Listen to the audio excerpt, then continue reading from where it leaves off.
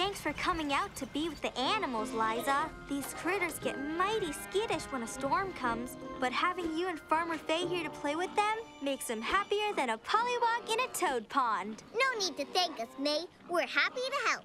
And I'm happy to twirl my lasso wherever there's a critter in need. You're sure all the animals are in the station, Clay? Every last critter on the farm is inside. Cows, sheep, pigs, goats. Speaking of goats, I should check on Goaty.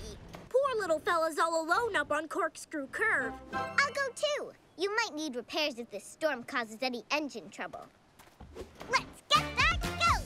Yeah! Goaty! Hmm. Goaty's not in his house. Can't have a goat wandering around in the middle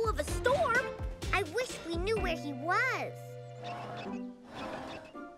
Let's try Pointy Peak. That's one of his favorite places.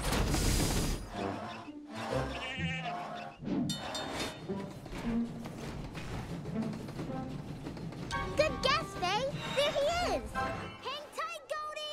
We're coming to fetch you from the storm!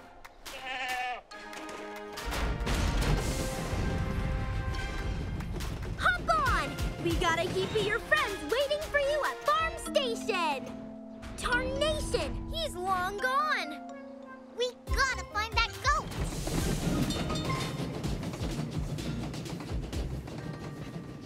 I thought for sure Goaty was going towards Bugle Bridge, but he's not here. And we don't have much time.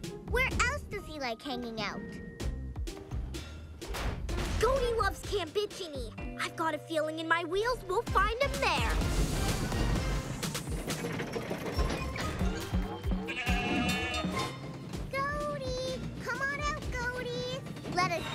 to a nice, dry, storm-free barn!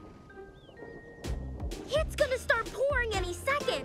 We better get Clay and May. We need all the help we can get to find Goaty.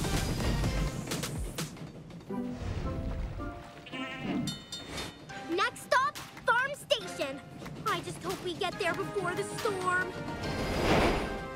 May, we looked all over Tracksville but couldn't find Goaty anywhere. We need extra help. Sure thing, but right there. He came wandering in just before you got here. Well, clickety-clack, how about that? Good to see you, Goaty. Looks like today his favorite place is Farm Station.